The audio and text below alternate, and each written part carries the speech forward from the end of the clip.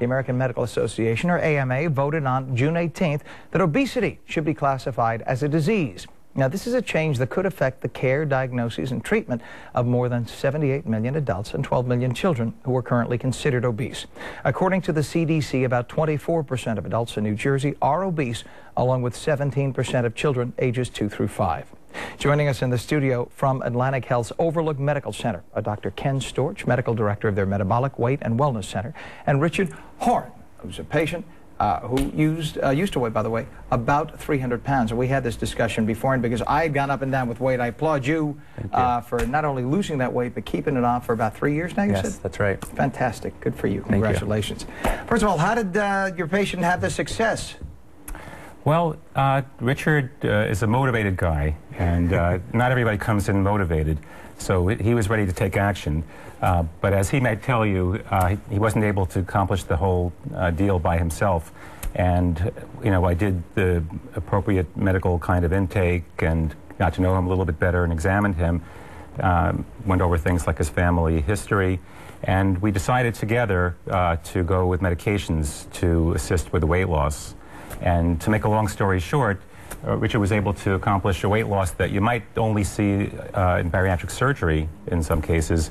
Uh, and, and in his case, to his credit, he's been so motivated and has done such a good job with diet and with exercise that he's now off the medicine and maintaining his weight loss. For, th for three years, yeah. maintaining that amount of weight loss, about 25%. Right. Which is enormous. And, and in fact, I know some people who've had uh, some of the surgeries who have not sure. had that kind of success. That's fantastic. Yeah. Tell us how you feel.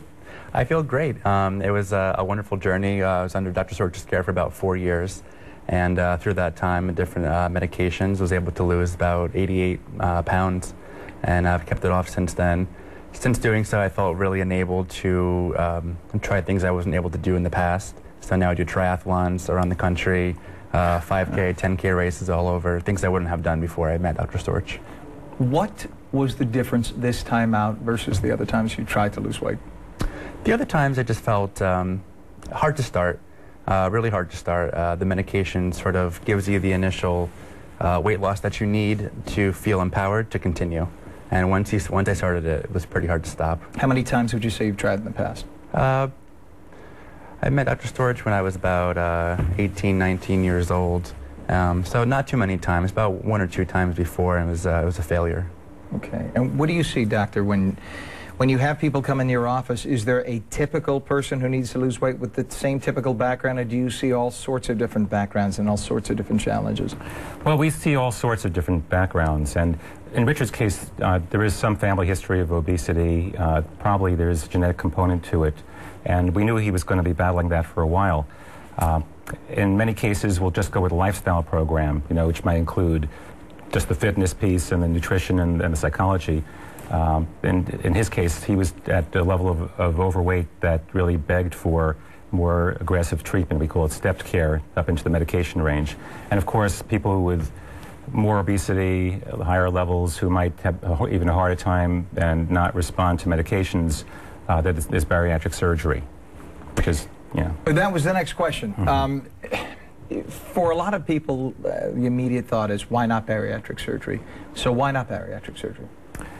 Well, I don't think most people wake up in the morning saying, gee, I want an operation today. Uh, you know, it's, it's a big commitment. Uh, it's a permanent change for most people. And uh, the complication rates are very low, but they're not zero.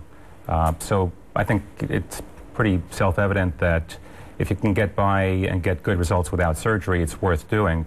But then again, people who are in the higher weight categories generally don't do well without the surgery. So there's a stratification process. And to some extent, it's trial and error. Generally, when somebody comes in, if, like Richard, who hasn't really had a lot of goes at weight loss, we're not going to jump right into surgery uh, under any normal circumstance. But somebody who is very overweight and has had one failure after another, and they're starting to get into a state where their, their health might be at permanent risk, then yeah, sure, you want to jump in.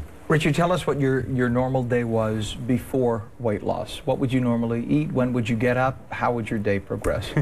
uh, before Dr. Storch, it was, uh, I, was in, I was in high school and just starting out in college, so great time for a lot of bad habits to start. um, you know, a lot of, uh, lot of time to myself where I could just eat whatever I wanted. uh, you know, before class, um, have kind of whatever breakfast I needed as I was getting ready to go, jump out the door, and when I came home, pretty pretty unstructured, and um, uh, a lot of opportunities for uh, bad habits and bad practices to take place. So the kind of food you would eat, a lot of fast food? Yeah, a lot of fast food, um, a lot of carbs. Um, didn't have too much education about vegetables or, or what, what compromised a proper meal. So with Dr. Storch, uh, I kind of was starting fresh and really uh, did a lot of time learning about what I should do. And now, would you say you're? I mean, you're, you're pretty regimented in terms of when you wake I up, am. working out, and food you eat. That's right, yeah. Pretty regimented. Uh, standard for me, uh, something like cereal and fruit in the morning, and uh, my meal times are, are much more consistent than they used to be. That's key. Uh, having a plan, I think, is one of the best things to do. Um, eliminating options um, is helpful. When there's a lot of when there's a lot of gray area in your day, you tend to fill it up with things that shouldn't be there. Doctor, the uh, this uh, obesity has now been classified as a disease, or at least there's there's a discussion is making it so, right? Um, in doing so, a lot of people jump in right away and applaud that and say that's a wonderful thing. But I've also heard the antithesis of that. People saying that when the government declares something a disease, that means that lets them step in and they make the decisions and sort of regulate and sometimes take the decision-making process away from the individual doctors. How do you feel about that? Well, I, I think it, it, was something that was, the time had come. Uh, the AMA resolution to recognize obesity as a disease actually follows a lot of other organizations. Uh, the World Health Organization has recognized it, the NIH has recognized it, even the Internal Revenue Service has recognized it by right. this time. Um, the, um, it's important uh, to, I'm sorry, well, look, you, no, you understand that. In other words, that, that when, when it, it, no one no one suggests that being overweight, being obese, is good for you per mm -hmm. se. But once the government officially says this is now classified as X, Y, or Z, then that uh, opens the doors for the government to then say, and here's the protocol, and you must follow this. Do you understand the point? Sure. The, the government doesn't really take that, that level of, of putting a protocol together. But I, would use the analogy, look at yeah, lung remember, cancer. we have, we have a new, a new health care plan. Uh-huh. That's the yeah. point and yeah. might it under under a new healthcare plan? That's that's the question. Well, I think they'd work together with with, with the medical societies, but to, to not recognize obesity as disease, I think would be. Um, you know, you'd say you might be saying, well, obesity is just a consequence of not exercising enough and uh, and uh, eating poorly. But uh, an analogy to that would be uh, somebody had lung cancer, you'd say, well, you don't have a disease because it was actually caused by the cigarette. So it's not a disease. I mean, it doesn't make any sense. This, this, obesity is a condition that causes great harm to many people in the country, a huge number of people.